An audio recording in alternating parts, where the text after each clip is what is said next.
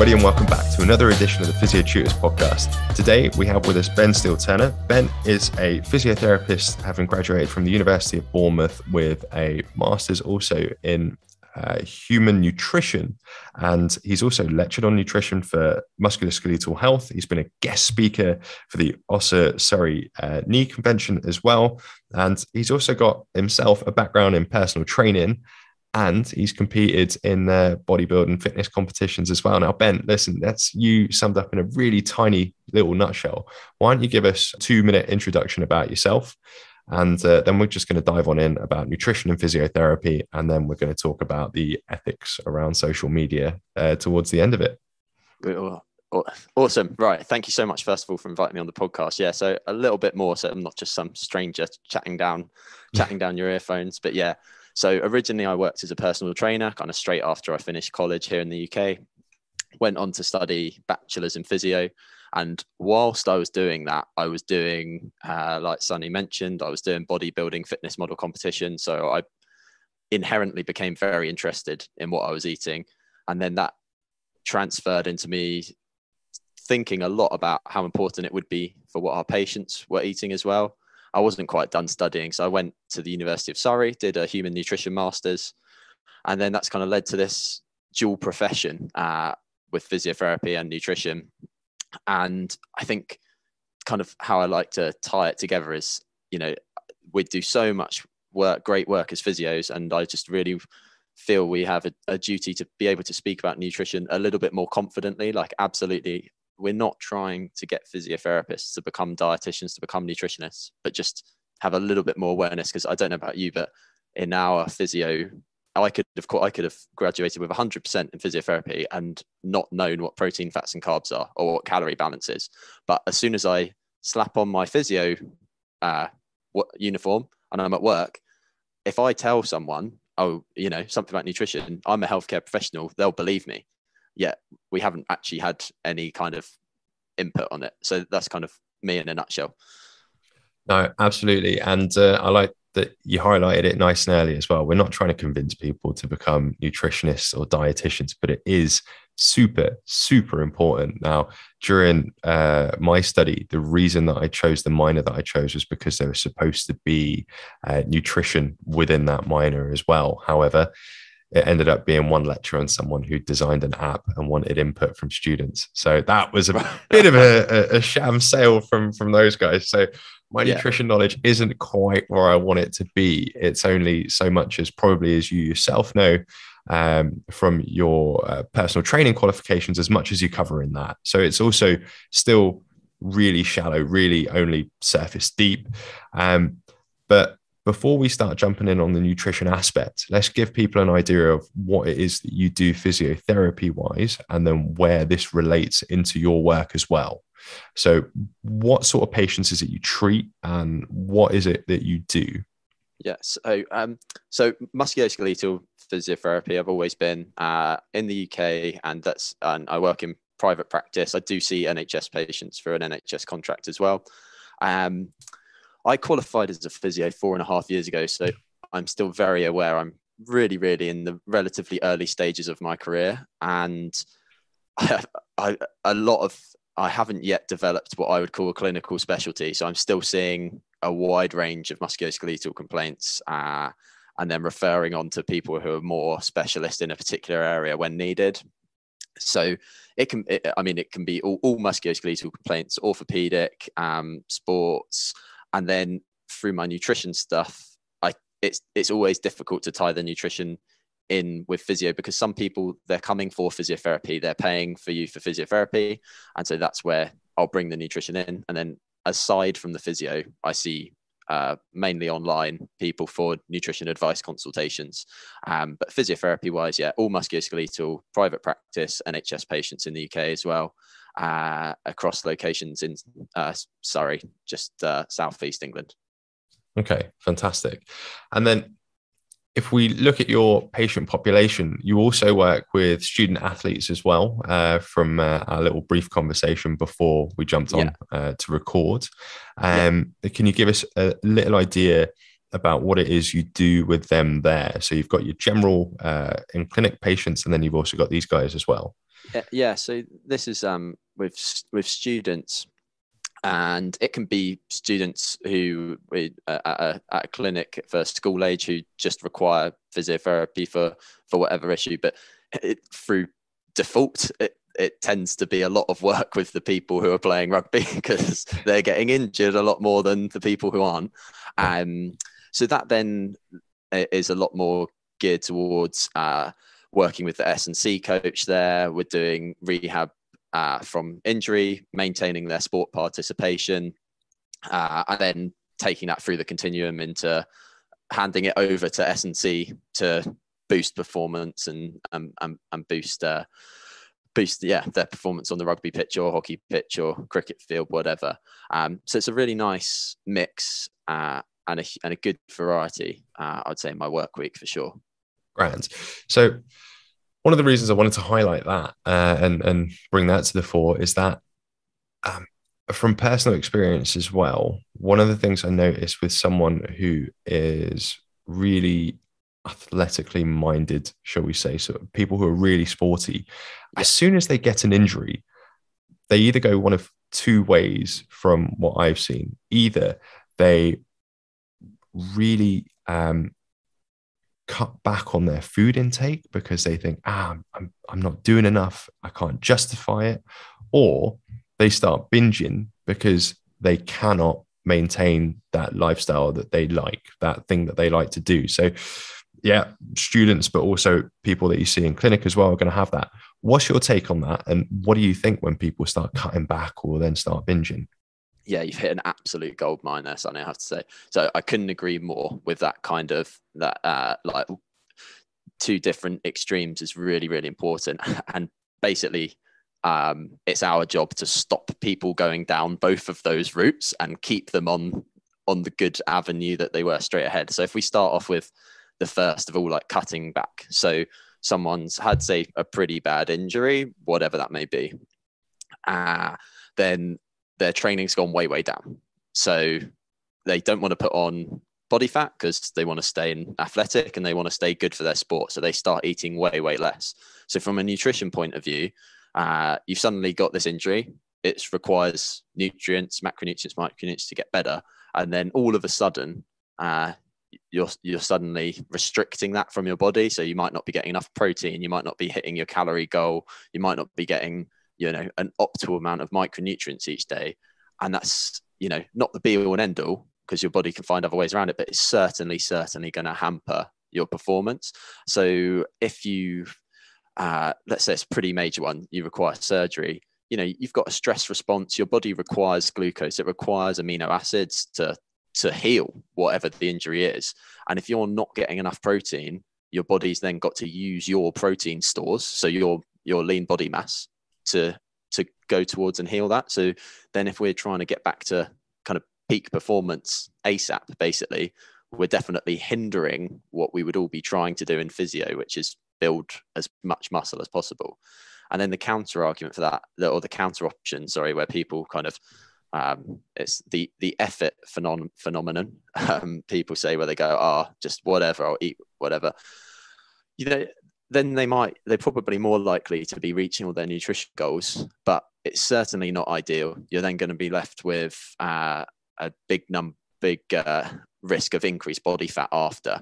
So really this probably leads to a nice kind of summary take home point early on in this podcast. If you're just a musculoskeletal physio and you've got someone who's injured, you really want to keep their habitual diet, assuming their habitual diet is pretty good, if they're athletic minded, the same. Stop them veering off course too much and absolutely avoid an energy deficit. Like when you're injured, if your priority is getting that injury recovered, you're not trying to diet for your holiday or whatever. Uh, you know, get the injury better, give it what it's give it what it needs.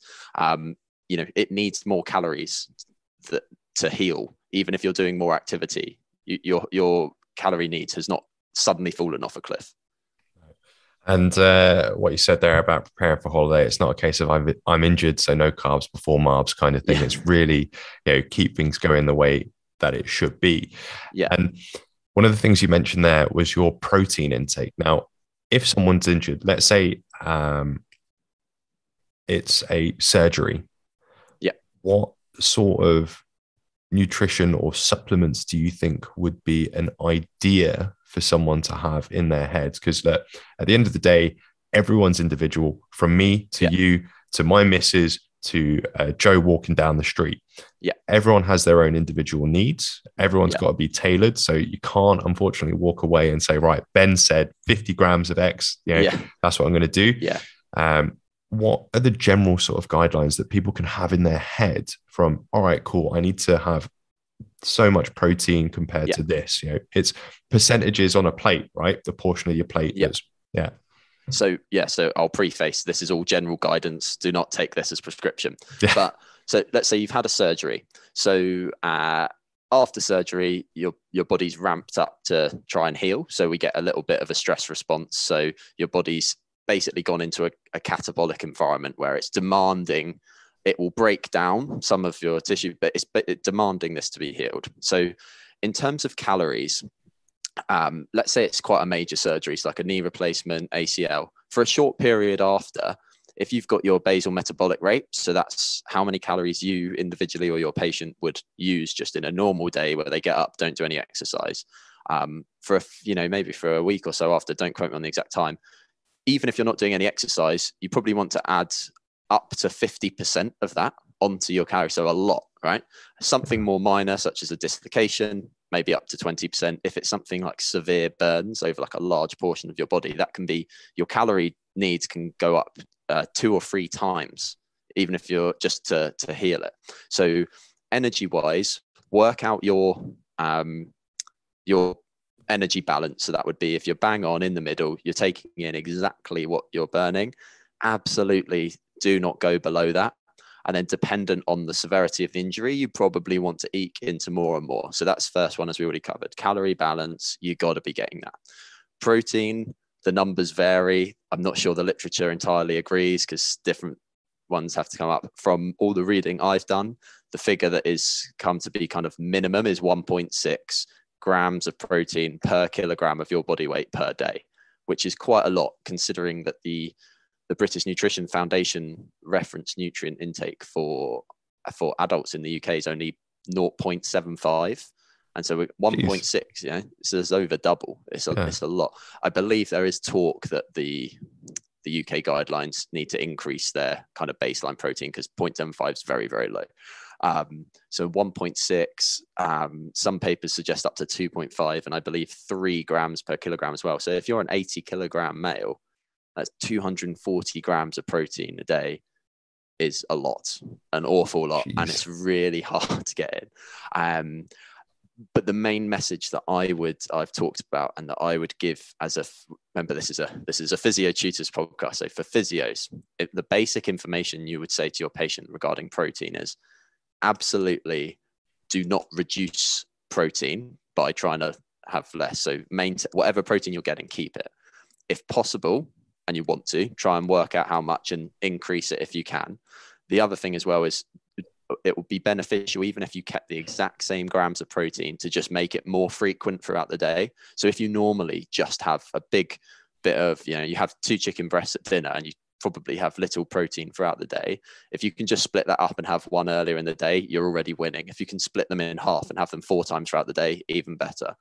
Um, and timing them, uh, timing that somewhat around your your rehab as well with protein. So so many people will come in and be like, "Yep, yeah, great, I'm doing all your exercises. You're giving me. I, I get up first thing in the morning and I do the exercises, and it's like that's brilliant doing them. However, you're effectively doing rehab fasted, which if you want to train and uh, you know there is definitely a time and place for adding fasted re fasted training in for other purposes like performance or weight loss if that's a time that suits you to train but when the goal is to rebuild that tendon or to get these muscles stronger don't train fasted have have some food before and definitely around it. So yeah, energy balance, protein 1.6 minimum is the figure that's given. And then you mentioned supplements or nutrients. I think um, I never recommend sup uh, you recommend what people need to be getting to and if they need to supplement it then then that's fine. And particularly with protein like if you're trying to get 150 200 grams of protein in a day it's really hard to get that from whole foods. So you know if one of your portions of protein becomes a protein supplement then fine it doesn't matter. I wouldn't have three protein shakes a day but um, if it's needed to then there in terms of supplements it's, it's really really tricky um, but the, the ones definitely you're in Amsterdam, I'm here. We're both quite northern on the on the globe. Vitamin D this time of year is is pretty rainy outside my window today. Um, you know, during the winter, if you live in the, you know, uh, I believe it's 35 degrees latitude or north, so pretty much anywhere in Europe and above. From October to March, September to March time, you're not getting vitamin D. Even if it's a sunny day, you're not getting enough. Um, you're definitely not getting enough from your diet. Do you know how much, how many eggs you have to eat to get your day's vitamin D requirement? Oh, um, have a guess. Uh, all right. I'm going to assume it's a lot. So let's say six. No, it's 24, what? I think, from the figure I saw the other day. Yeah, 24 eggs. So, um, and I don't think the people in the elevator will be very happy if you eat 24 eggs. Oh, uh, uh, I believe that's. I think that's that's. I saw that the other day. Uh, anyway, long story short, vitamin D is one of the few supplements that you can that is routinely anyhow in the UK kind of advised 10 micrograms. So that's that should be the case for anyone. I would just look at it as if your goal or your patient's goal is to recover from this injury optimally, why would you not do everything you can. Like why would you not tick every box? Like some people aren't bothered and that's you know you can't it's not that's their, it's their choice. But the people who are bothered why would you not do that? Um, if there's a little chance of toxicity definitely always get individual advice. But let's summarize because i'm definitely going into a little bit of a ramble. Make sure people are getting their energy goal. Make sure they're getting enough protein and at bare minimum they're spreading the protein throughout the day. It's not all in one big thing. Um, nutrients if if you live in a country that doesn't get much sun and is quite northern, then a vitamin D supplement in the winter, and then other supplements um, would be used if and when a nutritionist or a dietitian thinks there is a realm. I think we're going into very dodgy territory if we start openly saying people should be taking this supplement. Take zinc, take selenium, take uh, yeah, yeah. yeah. Uh, but you mentioned spreading out the protein over the course of the day. Now, yeah. is there a biological reason for this, or is it just to make it more palatable for someone to eat? Uh, yeah, it, it's just so that the uh, it's just so that the those amino acids, which effective, I, I just use the the visualization that they're like the, the bricks, right? They are the building blocks of of your muscle and your connective tissue and your bones.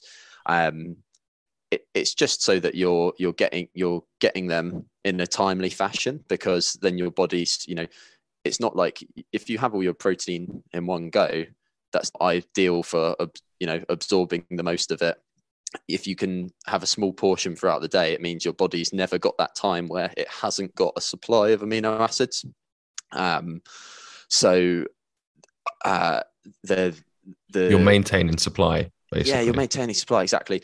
I, this is not a hugely you know scientific thing. This is just an analogy, but this is how I I personally explain it to kind of summarize the nutrition and the physio. Is let's say you've uh, you've got a brick layer and you're you've got a brick layer and you want to build an extension on your house. So you already have your house, which is your body.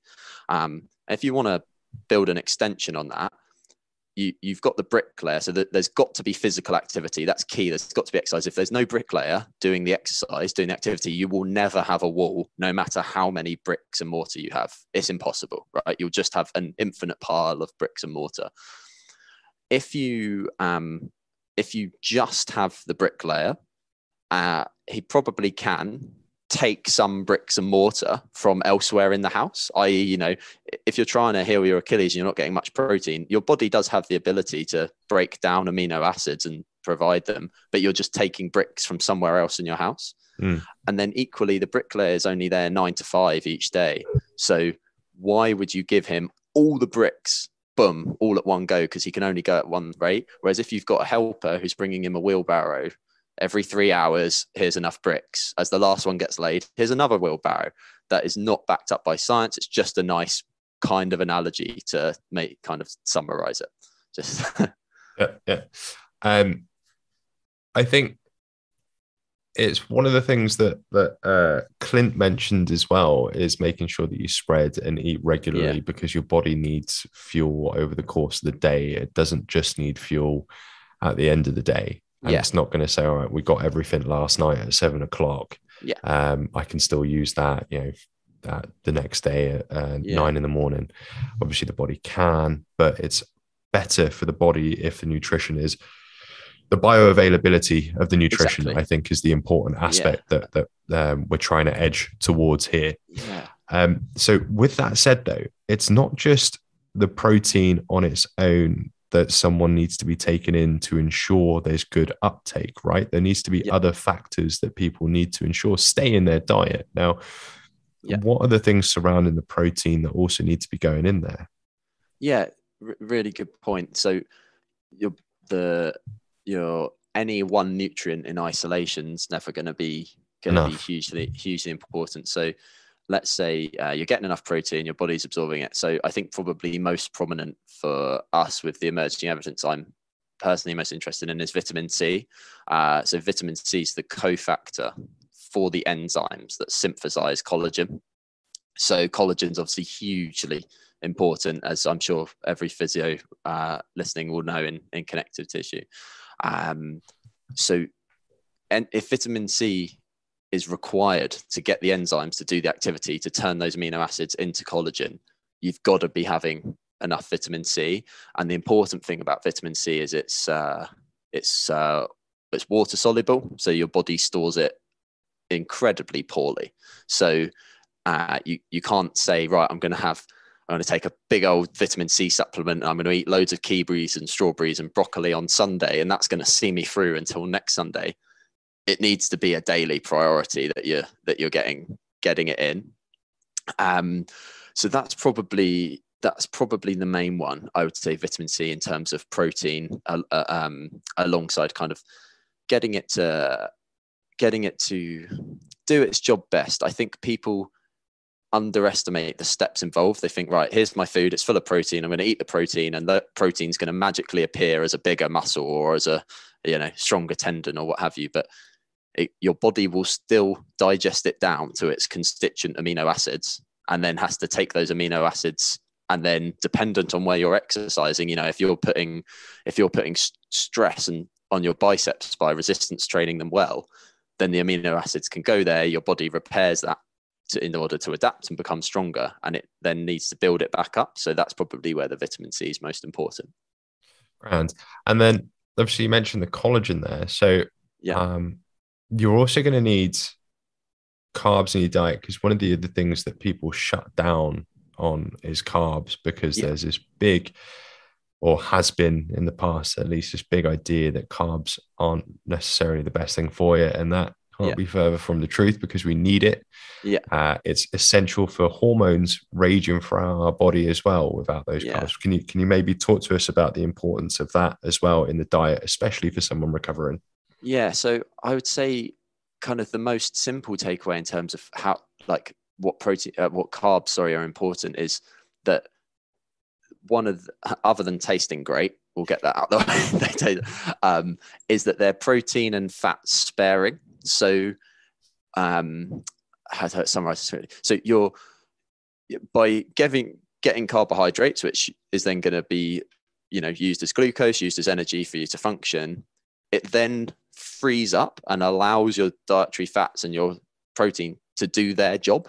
Um, whereas if you're suddenly really low on carbs, your body's got to then so um, amino acids can be made into glucose, gluconeogenesis in the liver.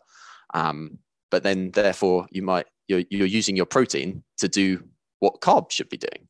Um, so therefore that's not really optimal. Um, that's not really optimal for anyone. Additionally, you know, and I know as we were talking about before, people have got a pretty strenuous rehab routine, your carbs are going to give you the energy to do that exercise. So if if you're not getting an, if you're not getting um, a decent amount of carbohydrates, you're probably, I know some people do love ketosis and say that they feel great on keto. Um, not, not something I personally promote in any way, but for the vast, vast, vast majority, if you're getting a good amount of carbohydrates each day and you're fueling it around your workout, you're going to have plenty of energy, which means you can then go in, you can provide that stress, you can do that resistance exercise, you can load your muscles, you can load your tissues. And then the protein can be used to help you adapt, build back stronger, and then progress that over time. And I think that's probably where the carbs come in is that, yeah, yeah, they're, they're going to, they're, they're allowing you to do the, do the work that then triggers the adaptation and then the protein's job is it does it. So everyone's got their little job. Um, and my little analogy again would be if you've got a football team with defenders midfielders and strikers you have to field defenders midfielders and strikers. If you take all the midfielders out all you're doing is putting your substitute defenders and strikers in midfield. Like why not just play the people that are good at playing in midfield? Yeah. Yeah. Yeah. Nice. Um I think again, if if we then use the the bricklayer analogy that you said as well, it's yeah. like taking bricks from elsewhere where they yeah. could be better used in the fireplace, and now you're going to stick it on the extension. Yeah. Well, yeah, you've kind of done yourself a disservice by taking elements away from where where else it could have been. Now, if we look a bit broader then from the the sort of carbs or, or protein if it, it, is the timing of intake that important? Because there is i think an element to say you don't necessarily need to time every single meal to every single training session because you're let's face it you're not going to be preparing for the olympics. You're not preparing for, for some people are some some people might be, but let's just take it in general. Yeah. Um, you're not going to be preparing for something like that. So the timing of your food isn't going to be as important to Joe Bloggs down the road as it would be for your elitist of elite athletes. No. Right. Yeah. So um so there's a there's a really really interesting topic and this is definitely one that's kind of done the rounds a little bit on social media where per, when when I was first going to the gym, you know, once I had finished my last set and I was going back to my uh, back to my car or to the changing room to get my chicken breast in Tupperware, don't try and talk to me because I need my chicken every second until I get my chicken. I'm wasting away. Um, and, and and and that and I did you know from watching people on YouTube that was what I believed. You know, I was carrying a chicken breast wrapped in tin foil, ready for as soon as I finished, because that's what I thought. And um, so I would say this is summarized perfectly um, by a uh, researcher, uh, Shawn Arent from the US, and he, uh, him and his colleagues wrote a, a, paper, and the title of the paper is uh, "Nutrient Timing." It's not an anabolic window uh, but a garage door of opportunity. And uh, what a brilliant title, right? And, um, and what they mean by that is it's not this tiny, tiny little space where you have you've got this tiny bit where you have to get your your nutrition in or all's lost. Um, there's this it's it's huge, widely ranging. So the first thing would be if um, if you can get your nutrition in and around your training, so before or after, but you know, close to, then why wouldn't you? Like, why choose not to? There's no there's no harm in having food 10 minutes after. Um, but there probably is a little bit of detriment if you wait three or four hours. Like if you can have it straight after, then do because that's the time where where the nutrition is needed. Um, so I would say that the the the in terms of rehab, for for your your standard musculoskeletal thing is avoid them training doing it fasted. So make sure there are some there's some protein there's some carbs there's some fats there's some micronutrients in the system ready to go because that's what your body's going to need to recover optimally and to fuel it. Um, and the goal of the exercise is to get this injury better not to try and lose weight or at this stage to try and boost performance. Now, absolutely, if you're trying to boost your endurance performance or your speed output or power output, there is a place for training for, for or carbohydrate fasted. But if the goal is to optimally get stronger and rehab an injury, just make sure they're there. Um, and then the other thing is taking the bigger picture.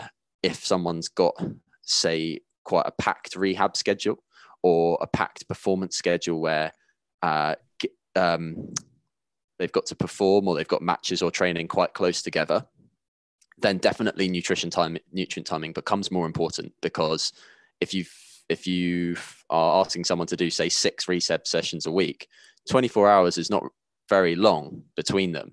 Um, and so if someone's waiting then four or five hours after one before they're fueling themselves, that's quite a big, that's quite a sizable percentage of the time, their recovery time where they're not recovering optimally um, before you're asking the muscles to do the same again.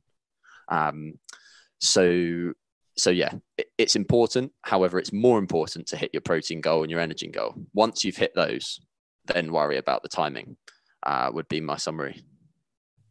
Okay, yeah, fantastic. And then what if we're talking about someone who is um, going through rehab, but they're still yeah. also performing? What are uh, the okay. optimal yeah. things that we need for that person? Because yeah. they're not going to need the same amount of, of protein in relation to carbs that they would have had if they were just pure on the road to recovery doing nothing else, right? Yeah. Yeah. So so that makes it even more important probably because they've kind of got dual and i'd say that's this now you said it that's really quite common because um, they need to make sure they're adequately fueled for both. And i would say it makes it uh, even more important that they're fueling adequately timed around their rehab or their you know their match or their training what have you uh, because let's say they uh, they they're training on Wednesday and then they've got a match on Friday and you're asking them to do a rehab session on Thursday. Thursday now has has two functions. Thursday is a rehab day and it's also a recovery day. So they've got to fuel the rehab and recover for the next one. So it doesn't it's not like you can magically go, oh well in that case they need to take this supplement or take or eat this food. They it's the you're still a human being first they just require the same stuff. It just makes it more important. So in that case i would probably be more more keen on that you know after your match on wednesday let's get some protein let's get some carbs let's get some fats in pretty sharpish you know you know definitely um uh know, within an hour after for sure maximum probably uh, you could probably stretch to two but if they're at that level where they're performing and rehabbing, they're probably, you know, pretty on it and pretty keen to do it. You know, why why wait to two hours unless there's an absolute reason? You know, you can all that's the time where a supplement becomes useful because it might be the match is away on a Wednesday or training's two hour drive away. So they physically can't get to the kitchen. So that's where the supplement becomes a tool to use because they can have that soon after. Um, uh, and then on the Wednesday, you know, they would have just a normal day of eating, time their food uh, intake around their nutrition, uh, around their rehab, sorry, uh, and make sure that they're also getting enough carbohydrates, getting the nutrients ready to perform again Friday. So yeah, they've got a pretty tough week. This this fictional character. Sounds like you're speaking about someone specific, but uh, but um, how is it then, or how is it that you combine it into your rehab with your patients this yeah. element of nutrition? How how in depth are you going? Yeah. I think it, it always really really um because i'm i'm a physiotherapist first nutrition sec nutritionist second right? So i'm i'm primarily a physiotherapist with an incredible interest in nutrition and a registered associate nutrition right? that's right? Um not not not vice versa. So some people will be incredibly receptive to it and they want to know more and they want me to send them links and articles and videos and they want to know how am I doing this. And other people uh, who aren't so receptive, I'll still provide the advice, but in a much briefer, less kind of in less depth. And then, you know, I mean, I could talk about this till the cows come home. So then, and other people, I'll I'll go in in incredible depth. So I think it really depends, and it also really depends on on the person as well. Um, if they if it's someone who is a is an athlete or they've got some kind of sporting performance that they're going for, then I'll I'll over egg it slightly and just be like, you know, if you want to get back to performance, you don't want to be under fueling. We really want to go for this, and therefore, this is the advice I'd give. Um, and then there'll be other people who, let's say, it's something uh, less so. Uh, oh, it's always now you can't think of exactly a good example, but let's say it's someone who's just uh, a keen keen walker and they might have got a lateral ankle sprain. You know, your body's going to get better. I'm not like here to say the nutrition is like the be all and end all. Of course, it helps if you're eating well and not drinking too much alcohol at that point, but it, as long as you do your rehab well and you protect the joint, you let it settle down, you gradually build it back up, it's going to get better. And in that case, I might say, you know, you know, you don't need to suddenly overhaul your diet, but make sure you're getting enough protein. I probably would avoid alcohol for a little bit because that's going to um, that's going to inhibit some tissue healing, and that jobs are good and for that. So hugely wide ranging. So um, you bring up something really interesting there, alcohol. Um, yeah. How how can alcohol affect someone's recovery? What what are the mechanisms there?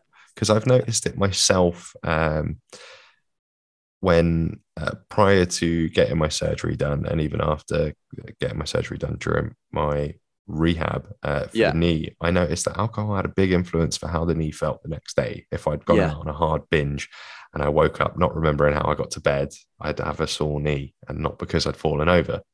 Yeah. Uh, okay, so um, so do you mean what? Act- why is alcohol bad, basically? Essentially yeah. what are the effects for alcohol let's not yeah. demonize alcohol because no, i think there's yeah, enough demonization no, no, uh, to go around everywhere uh, i love a drink before anyone says that but what are the effects of alcohol what's it going to do to our body so that we can understand it as rehab professionals because i've had many people talk to me about wanting to go out for someone's birthday drinks a couple yeah. of weeks after an operation or even uh, within a few days of a concussion or something like that. Yeah. So, uh, yeah, with the concussion, I'm a little bit more, uh, I pull them back a little bit more if yeah. it's really, really sensitive yeah. to it. Um, but yeah, what, what are the effects that alcohol can have? Yes. So, so, um, so in, through impairing the healing phases, so definitely will impact the um, inflammatory response. Uh, and of course, you know, if you have one small glass of wine, that's probably not going to have too huge an effect. Let's be honest. But if you're starting to get up to you know a few pints of beer, you know, it might start to impact it. Um, so definitely um, the sooner after injury, the greater impact because you know we know there's an inflammatory response your body's doing this this what i would describe as a miracle of mother nature miracle of healing tissue which is why i love physio. You know if your car starts making a weird noise it doesn't start getting better by itself overnight whereas all our bodies do. So that's amazing. So alcohol is probably going to impair that process so much um, and make the inflammatory response not so good.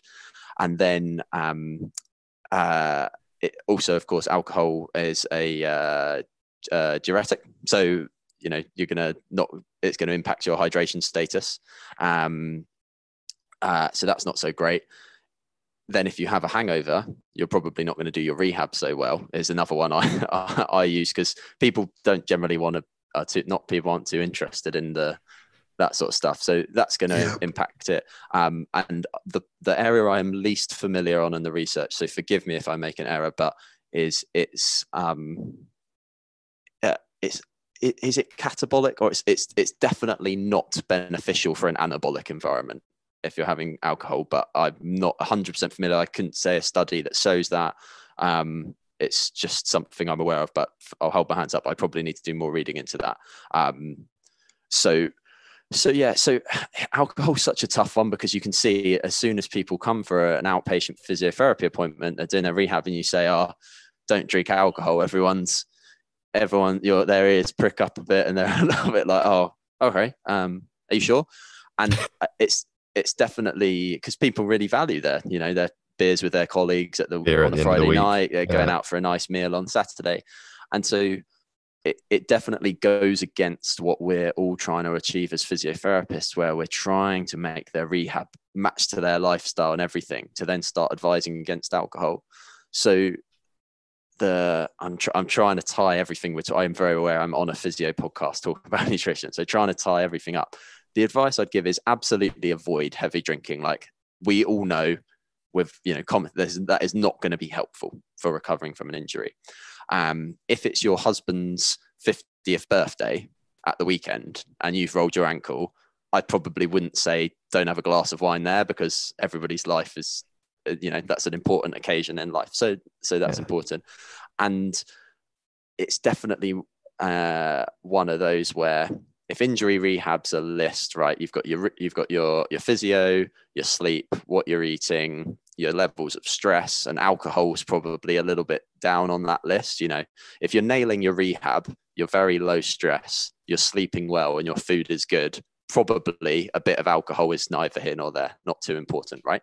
Um, but uh, if you can tick that box, i.e., you don't drink, great, that box is automatically ticked. Or if you were going to have just a couple of beers when you got home each evening and you just hold off on them for a few weeks, it's going to help a little bit. Of course, it's going to help a little bit. How much? Eh, I'm not sure.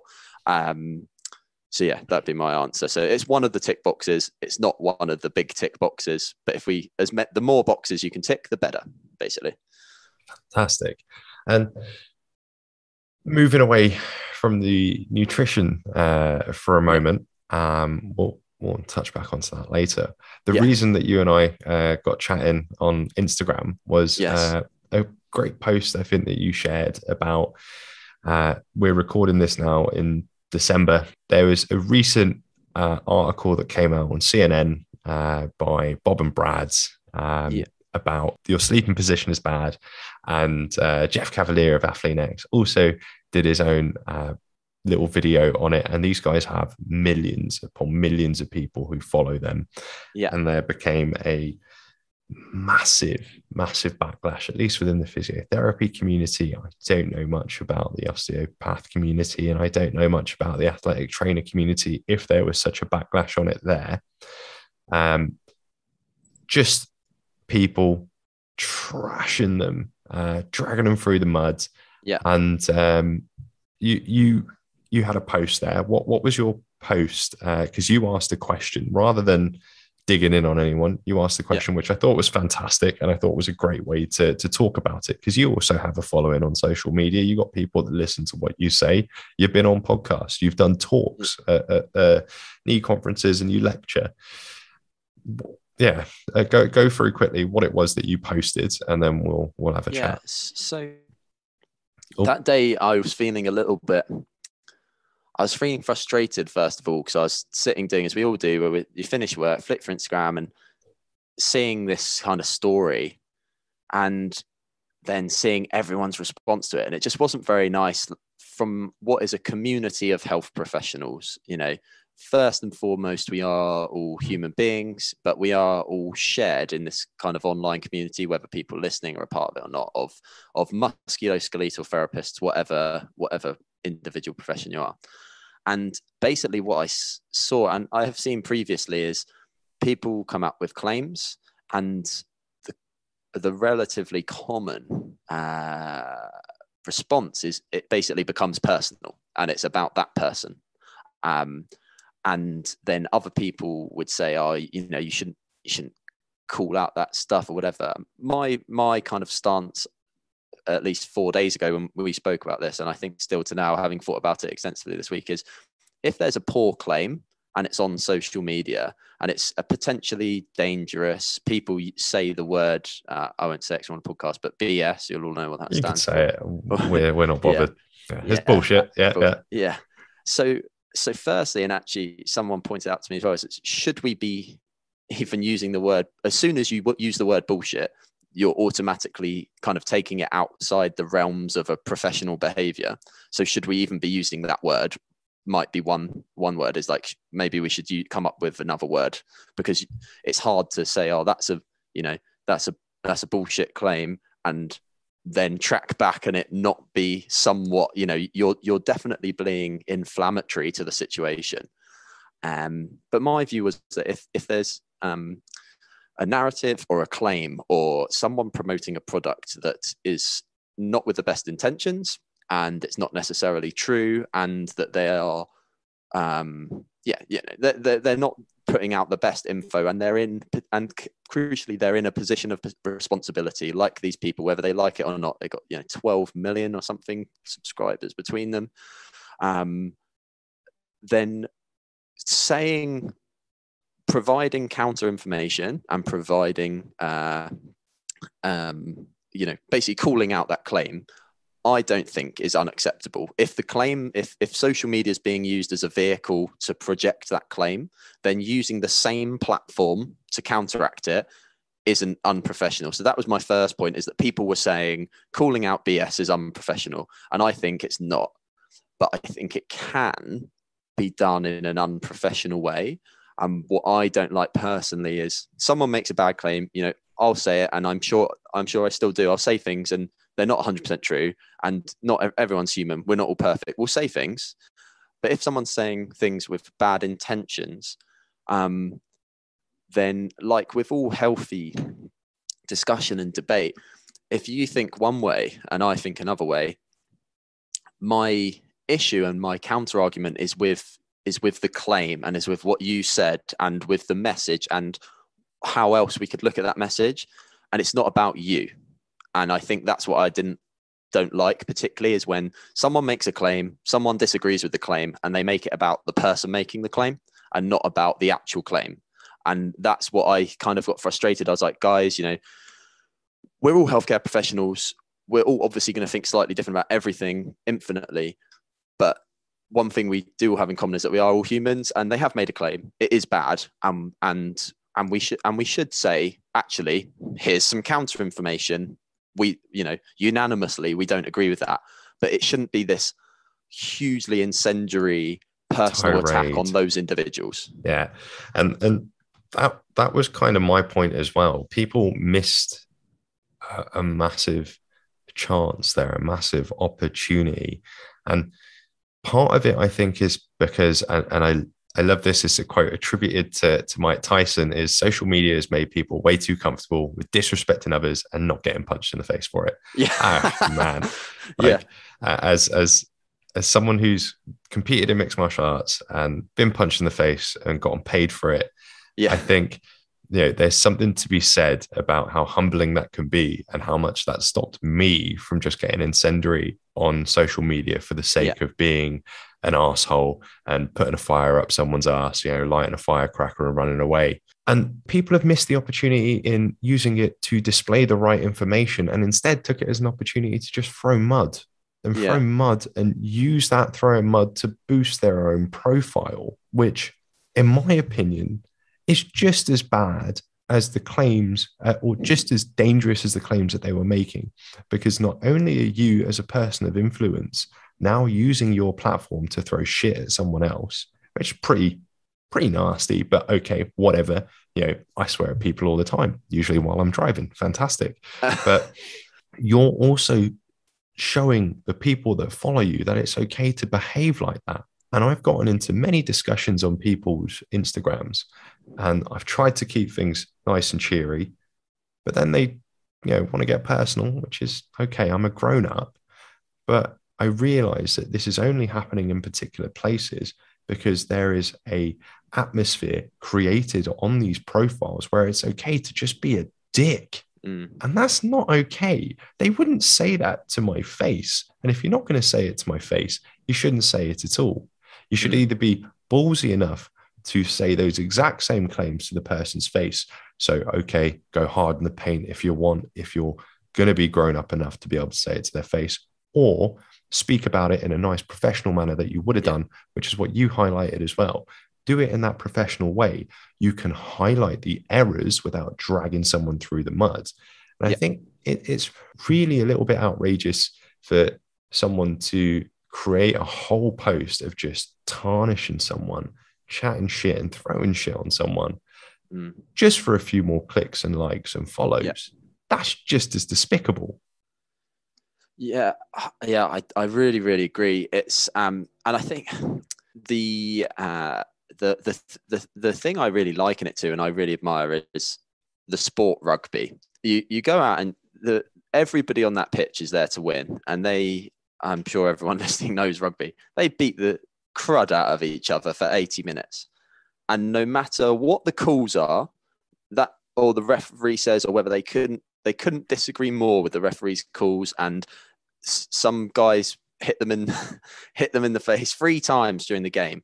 The end of the whistle goes, they all shake hands and they'll all have a pint because as people they get on, but their their let's say inverted commas claims during the game is to claim to win and they want the best for them. You don't then after the final whistle's gone take that message further. And I and I would liken it to that is like someone else is making their claim and their belief. And if it's an incorrect claim and it's, you know, potentially dangerous and it's not true, then don't drag it down and and drag it into a, a war of of them personally. And remember that probably a lot of people who, you know, my page is pretty small, but I've got clients that follow me, I've got friends, family that follow me.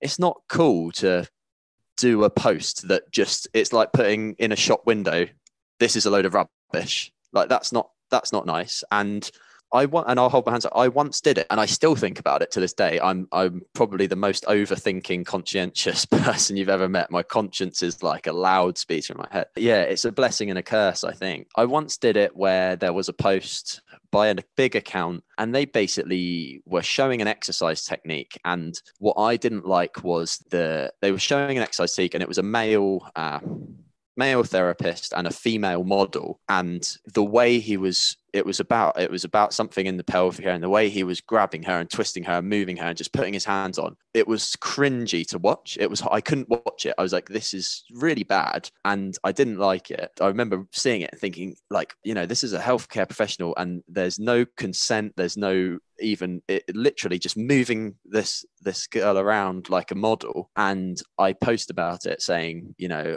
and and and in that case it, it's difficult because it's not like an infographic or a video. Like this is an actual person I posted and I and I did highlight at the time. I said, like, like, should we really be behaving in this way or doing a video? It might be that they gave consent, but maybe we should at least, you know, with every single patient all of us ever see, hopefully we'll get in and we'll go, you know, got consent for treatment. Great, great. Now we're going to do the assessment. Are you okay if I move your leg? You know, yeah, we're getting verbal consent before we do it. And so why would that not be the case for a video online if it's the same scenario and you know obviously it got a lot of engagement and i ended up deleting this was a story this is about 18 months ago i ended up deleting it because i felt like actually you know am i now in the wrong because i'm personally calling out that person and mm. what i was what i was trying to do was highlight what they were doing and not the person. I didn't have a problem with the person. It, I think it's really difficult from my little one experience. Maybe why I thought about it so much is it's really really difficult to to do it like that. And sometimes it can be difficult to not make it personal because you're making it about a claim that a person's made. So I think you it's it takes some thought. Um, but we're all well qualified professionals. Like before you counteract uh, an argument, think about what it is you're going to say and go. Actually, is that am I am I now making this personal, personal, and therefore raising it up a bar? Uh, is kind of like my lesson that I've learned. Yeah, fair. I think that's fantastic, and the thing is, social media is such a great and powerful tool. And we've highlighted the fact that, yeah, you can have thousands of followers, you can have a lot of influence on people. And social media is never going to be outside on the playground, the happy place. It would be foolish of us both to sit here and say to the audience that it should always be smiles and rainbows. There, there will be there will be assholes, there will be trolls, absolutely. But that doesn't mean that we have to promote that behavior. I think at the end of the day, we need to be, as my uh, MMA coach always says, higher level human beings. Mm. And only through being higher level human beings are we going to be able to elevate everybody around us. And I think that's something he's done amazingly with the team. And it's something that I take into my work, into my ethics of what I do as much as I can. And that's not to say that I don't trash people. Of course, I do. We're all human, but I do my utmost not to do it in any kind of public forum. Yeah. And if I've got a gripe with someone, I'm, you know, likely to bring it up with you rather than say it behind your back. Yeah. Um, I'm a big boy now. Yeah, you know, I wear my big boy pants, and I think that's how we should behave. To purposefully try to throw mud for your clicks and whatnot is no better than the act of disseminating misinformation. Realistically, that's what it was when you look at it, or even just catastrophizing beliefs which someone might have, which Jarod Hall pointed out actually, you know, people have a tough time already as it is. and now we're going around telling them you sleep bad. Yeah. What the fuck are we doing? Fair point.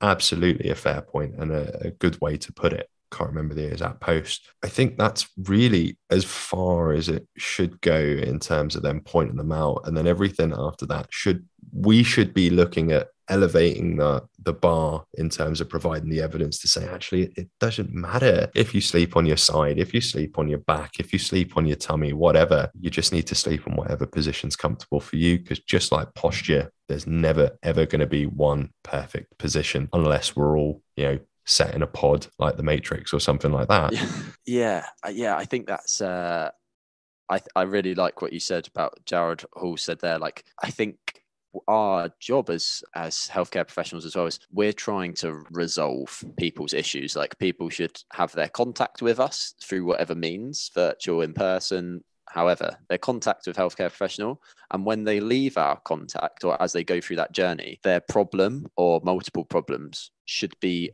reduced in number we shouldn't be adding things to their problem list overtly, which as soon as you do a CNN article about that, it, to some people that will have added a problem to their problem list that they didn't, that wasn't a problem before. That's not right. So therefore, our counter argument should be why should people take this off their problem list? For some people, let's say hypothetically, it's now a new problem. We could get rid of that problem, not attack the person who made the problem, because you know that's that's not the right thing to do. Just my, it, I think it's such a great discussion to have, and everyone's everyone's going to have their own kind of stance on it. The other side of the coin is misleading post was put out, but at the end of the day, I know for a fact for myself and also for students that I've met afterwards who have been my interns and also for students while I was studying. Bob and Brad, as have physio tutors and and X, have all played a role in a lot of people qualifying as physiotherapists and a lot of people getting good exercises and a lot of people getting good information that has helped. And one thing where the way that the majority of social media didn't like from the looks of it uh, in the healthcare profession. And then someone lit a bonfire there. And it's mm. nuts. You completely neglect any of the other work that they've done. And that's yeah. also quite a shame, I think.